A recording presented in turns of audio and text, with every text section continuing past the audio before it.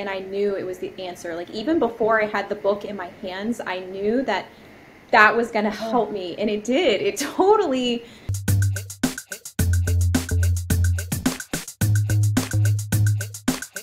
Um, I know my story is different from everyone, and for anybody listening right now, I want you to know that I, I've worked with people that have taken a long time to heal, and they've taken a short amount of time. But I would like to just share with you, for me personally, I applied his information. I did an extended 28 day healing cleanse. Extended. I basically did those foods for weeks and weeks and weeks, and by six months, I was completely symptom free. And then in one year, um, it took about a year for my emotions to stabilize. There were lots of tears and lots of cleansing going on, and and so yeah, that's how I found Anthony, and that's how I started my journey. So that's amazing. That gives me the chills when I like yeah. that moment where people just know. well, whenever someone says, "And then I found." Yeah. The medical medium. Then I found Anthony Williams. That ans- gives me the chills. Yeah, you just you know? gave me the chills saying that. So it sounds like this all started for you in 2011, and then oh, when she got sick. When yeah. she got sick, and then come 2017. Oh, 15. Oh, 15 is when you find you found medical medium and you started incorporating some of some of what he had written in the book. So that whole process from 2011 to 2015. That's four years. You said five, right? Because I think it might have been like 11, 12, 13, 14, 15. Like, yeah, yeah. I actually, um, even like in college, I actually had joint pain in my hands, and I just, I remember telling uh, my my boyfriend, who's my husband now, telling him about it, and my sister and my mom, and we all were just like, oh, interesting. You know, we didn't really think much yeah. of it. So if I were to look back at a lot of parts of my life, I know I know that things were mounting at a very very young age. My mom actually told me a story about when I was 1. I was already walking, but all of a sudden I stopped walking. She was like, "What's wrong with her hips?" Oh. And so they took me to the doctor. This went on for like a week or two, and then all of a sudden I was fine and I could walk again. But she said that she's always kind of thought, "What's going on with her joints?" Right so it's such a it's so bizarre if you really think back but the, the joint pain in college you know nobody should have that in their early 20s no. It's just not normal to have symptoms right? So yeah. um, but yeah definitely it was about a it was definitely like a five year span of of symptoms hardcore symptoms and then yeah i totally found my saving grace. so you so. found when you found medical medium, you said you just kind of dove right in to the um, 28 day cleanse. So you kind of just like eliminated everything right off the bat. Sounds like. So well, I thought I was. I was still doing this power shake drink from my naturopath. So I was seeing a chiropractor and a naturopath at this point. So I was done with Western medicine. Yep but here I am going to alternative therapies now for the first time in my life. And the naturopath, I was kind of questioning because she was giving me all these supplements and it was getting kind of overwhelming because I was doing supplements that um, was recommended in the Epstein Barr uh, chapter three in Medical Mediums uh, Secrets Behind Chronic mm-hmm. Illness and Mystery Illness book. Um, and so I was doing all those plus what the naturopath said. And I brought the book to her and said, Look, I think this is what's going on. I'm going to eat these foods. This is my plan. But she had me on this different kind of vitamin C and this uh, protein vegan shake thing. And I slowly realized that it had natural flavors in it. So, what I was doing was I was drinking my celery juice and then I would have that shake with like some kind of vegan milk. And my digestive system did not like that. Mm. That was not pretty. so um, eventually, yeah, eventually I had to give those things up. And I'm going to just keep it real with you. And I see this a lot with a lot of people. When you take out all the other noise that's going on and what everyone else is telling you, everyone else's opinions and recommendations, and you just focus on medical medium healing information, everything changes. And that's what happened with me. When I let those things go, I still saw my chiropractor actually, because she was the first person to tell me Epstein Barr virus is your number one problem. And I was like, oh my gosh, like somebody totally knows. Yes. so I stuck with her and I saw, yeah, I mean, it was a big deal. I saw her weekly. It was, it, it that was incredible. Um, but I had to let go of the naturopath. And, um, you know, I mean, even at one point in my sickest, I was seeing a fibromyalgia specialist and he charged $420 an hour. Do you want to know what he told me to do? He basically told me to lay down flat if I feel like really sick and just keep my body as flat as possible. And I believed him. So that's what I would do is like spent a lot of time laying flat. And I can't even believe I spent so much money to see someone like that who didn't even say a word about my diet. Yeah. Mm-hmm. Right? Like it wasn't even a topic. crazy. so it is. Yeah, yeah. So so um so you got on and so yeah. you so you got you you you know you got started before medical medium had any of his other books out right so he book. just had the first book which had the 28 day yeah. cleanse in it so I know when we were sick, that was the first thing we went to. Yeah. And it sounds like you did the same thing. Good. Yeah. So that's yes, yes. So I did the 28 day cleanse and focused on those foods like the spinach soup. But but what's funny is on the Vitamix setting that I use, my Vitamix blender. I turned it over to hot. I was literally eating it like a hot oh. soup because I didn't know any better. Yeah. I didn't know any better and I was also saving it like I wasn't even drinking I wasn't even eating all of it. I was like saving half for the next day. Um, and so long story short I wasn't eating enough. I lost a lot of weight really quick and my family was like what's happening to you? So um, yeah I, I, had to learn to eat enough. And so I did a lot of those like the um, the mango salsa the spinach soup every day the healing broth every day. Um, and then I started bringing in sweet potatoes for dinner. I would do that a lot um, and just kept it really, really simple. Celery juice every day, no matter what. Back then, I wasn't even starting my day with lemon water. I was just starting with 16 ounces of celery mm-hmm. juice. And um, absolutely no prepackaged foods, nothing with preservatives. Um, but I was having some nuts here and there actually because I would add some walnuts to my sweet potato and once in a while I would have like trail mix with nuts. Um, but for the most part it was raw and there was a lot of fat-free foods. Um, and then like a year into my healing, you know, my pain is gone, my symptoms are gone, and I started bringing some uh, nutritional yeast back into my diet. Okay and I was like, oh, I'm, I, was having fun making all these meals for my family, and I was really exploring uh, being plant based, and I wanted to have fun meals to transition my family. And then it dawned on me, like, okay, this is MSG. You cannot eat nutritional yeast. Get it out of the house. And I think it's an important topic to bring up because a lot of people feel like this is a very rigid way of living, and you have to be perfect, and you don't. There isn't a single person that I've met that's done this perfectly because it doesn't mm-hmm. exist. Mm, right. There is no such thing as a perfect healing plan or protocol. It's all a beautiful journey. And as long as you don't judge yourself for it and you pay attention to how foods make you feel and you know the truth, you go back to the truth like, okay, what's nutritional yeast? It's MSG.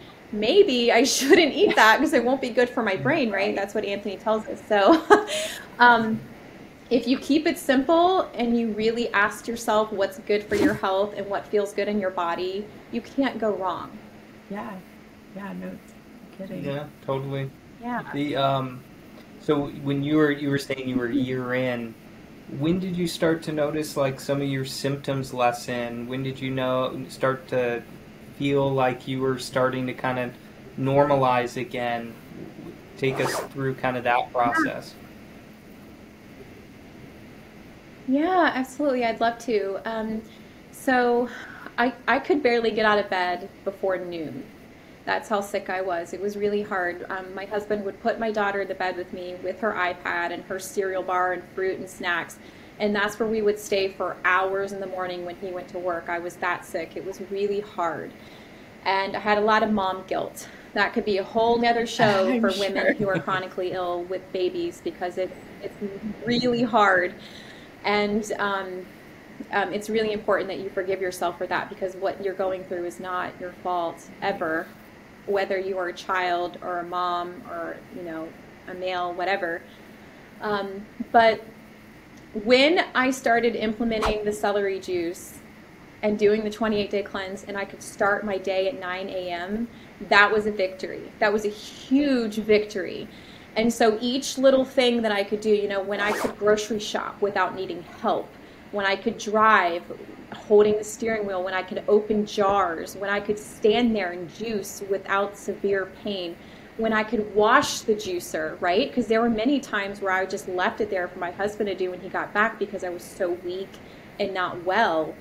But when you start, when, when you really pay attention to the little things, you can shower without pain, you can go for a walk with your family, right? All these things matter. And even if it's getting out of bed an hour earlier, it matters because each and every day, and with every month, every week, even if you every day, if you have to take it smaller increments, it changes over time and it's just amazing. I think that that's the big thing for me was i focused on those little victories and it kept me moving forward. Now through your journey medical medium started coming out with more and more information and more books. How did you start incorporating yes. some of that other stuff into your, your healing? yeah. yeah yeah so at about a year into my healing I started exercising a little bit more. We bought a recumbent bike so I could sit and rest my hips, but pedal a little bit. And so I was doing that a couple times a week. I would try to do a little bit every day. I was going outside in my backyard and walking in the yard, and eventually I got enough strength to where I was doing laps in the neighborhood. And that was amazing, walking and taking my daughter to the playground and swinging and playing with her. Um, I would do that every day, actually. And then um, a year and two months into my healing journey, I got pregnant with my son, with my second oh, child. And so I'm still very new into this yeah. healing, right? I literally just got my life back. My pain is gone. But there was a lot of fear, a lot of fear of getting sick again after baby, because that's what happened after my first.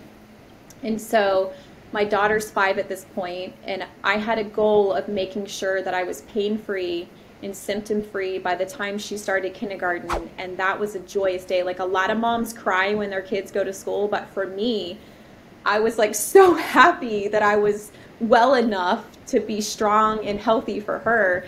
Um, but with my son, I had a beautiful pregnancy. I kept following medical medium. I was plant based. There were two times actually that I had wild salmon during my pregnancy. It was the last time that I ever had meat, and I finally let it go for good.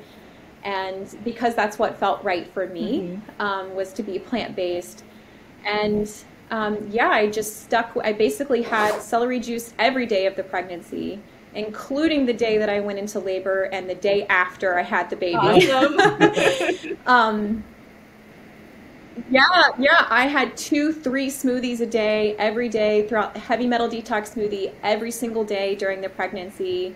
And I would listen to my intuition. There were some days that I would do like half a teaspoon of the powders, and some days I would do one full teaspoon, just kind of went with that with my mom intuition. And um, yeah, mostly plant based, lots of raw foods. And um, after I had him, uh, the recovery was brilliant. It was absolutely beautiful. My body was so supported, my adrenals were so supported.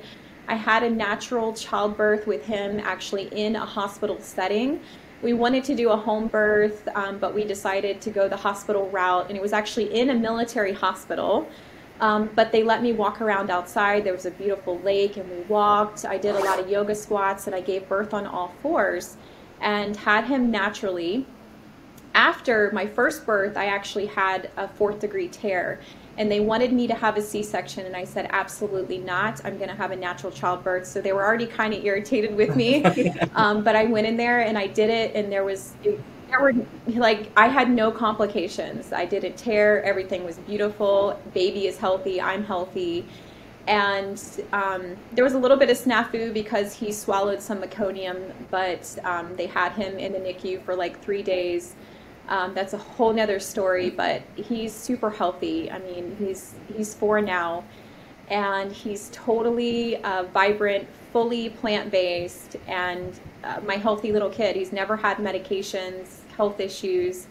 Um, and my symptoms never came back. More importantly, I never got the joint pain the depression, all of that stayed away because I kept supporting my body with the holy four, right? Fruits, vegetables, herbs, and spices, and wild foods. Um, and so uh, uh, eventually the thyroid healing book came out. And so I was like hardcore into that. I was like, this is great. I love the mango banana smoothie. I love the aloe and the cucumber juice. So I actually did a 90 day thyroid healing after I had my son. I can't remember how old he was um, which aloe water is safe during pregnancy and even postpartum. All of those things are absolutely safe and okay. And then I was like, you know what? I'm going to challenge myself. I did a whole year of aloe water and uh, cucumber juice. Wow. Um, so instead of like herbal tea at night, I did cucumber juice every night. Um, when he was about eight months old, I revisited my uh, 28 day healing cleanse but I did a modified version. I, I think about three, four times I had like potatoes and some cooked foods, but mostly it was raw. Um, my husband actually had to leave for about a year for, for deployment. He was gone a lot. It was just me and the two kids, and so I was cutting the grass by myself. I was working. I had opened up my nursing practice at that time. I'm taking care of two kids by myself, symptom free. like yeah. this is amazing, right? Yeah. I'm, uh, you know. where um, and i have to say too my faith was a big part of it there's absolutely no way that i could have gone through all of this with such little support um, if it wasn't for my faith i started going to church and asking the angels for help praying writing down prayers.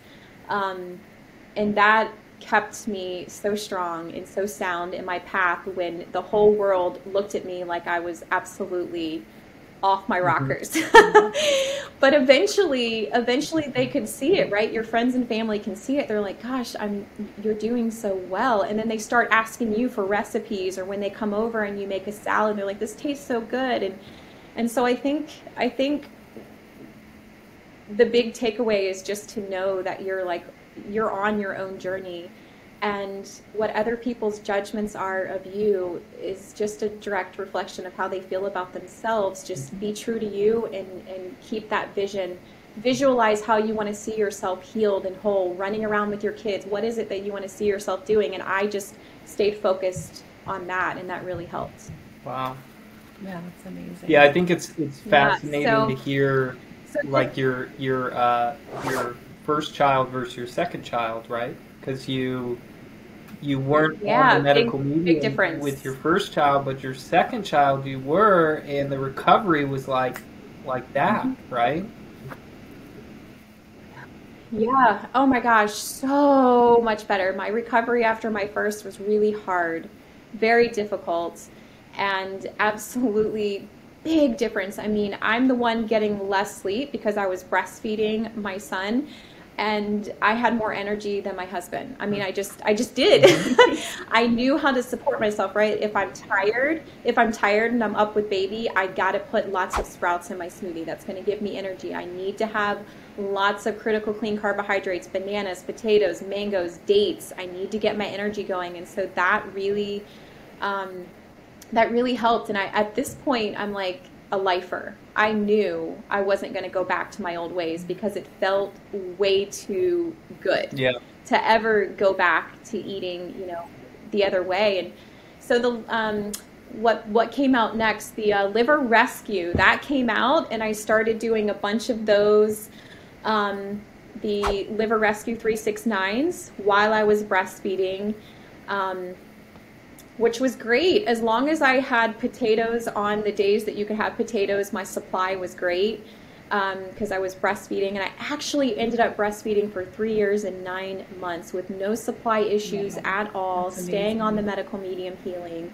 And my goal was just to let my son wean off naturally. I didn't want to stop him With my daughter, wasn't medical medium. I made it to about six months. I even had blood and clots in my breast milk. Oh my. And when I went to the hospital, because um, I had my appendix taken out, and then I eventually had to have my gallbladder as well in an emergency surgery. So those are two organs that I lost within that time. I remember showing them my breast milk because I had to pump, and they had no answers for me. And honestly, I didn't know what was happening either. And then I've experienced the other side where there were no problems, no mastitis, no issues at all, absolutely beautiful process and there's a lot to, to, to, be said about healing this way. It supports you throughout your whole life. Mm-hmm. yeah. So um, yeah uh, thyroid um, thyroid healing i did that and then the liver rescue 369s and then of course um, the 369 advanced cleanses i've done a little over 20 of those over the years and each time it's there's something new yeah, it's incredible. I, am always so like inspired when I see it on Instagram. You're always always doing one. It seems like, and I just it's so inspiring. It's like one a month. I try to do. I, I I used to do one a month, and I'm like every other month, and then now. This is my big 39th birthday year in September, and so the liver rejuvenates itself every three years. So three months before a third birthday is a good time to start cleansing. So I'll definitely do them back to back those months. Perfect. Um, but I'm at a point now where I feel really good. My bloating is gone. It took me four years to get the bloating down. So I know I could get the, I healed my pain very quickly, but we have to remember that it takes a long time for the liver to heal itself, right? and to get those toxins out. And I took a lot of pharmaceuticals. I was exposed to a lot in the hospital setting. Um, for all those years that I worked in the hospital, my husband being military, it's just a lot of exposure. And so I understand like we all need to clean our liver. And so it took me four years, yeah, to get the bloating down. And so if it's taken you a long time to heal um, a certain symptom, you just have to hang in there and know that if you're consistent, it's going to pay off eventually. And we are so blessed to have these books now, like even just the mm-hmm. Cleanse to Heal book. Yeah. This is very well used. You can yeah. ours looks the same, but um, you can you can look you know look up uh, bloating or whatever you know whatever it is vertigo eczema lyme wh- whatever's going on with you and you can really um, tailor your own protocol now. It's um, it's really amazing the information that he's he's he's given out to us now. So I can't wait for the next book. I know. I know. Yeah. We're excited. Check out our next video with Amber as she walks us through what she eats in a day. And don't miss out on all the other videos we did with Amber. Thanks so much for watching, you guys. See you next time.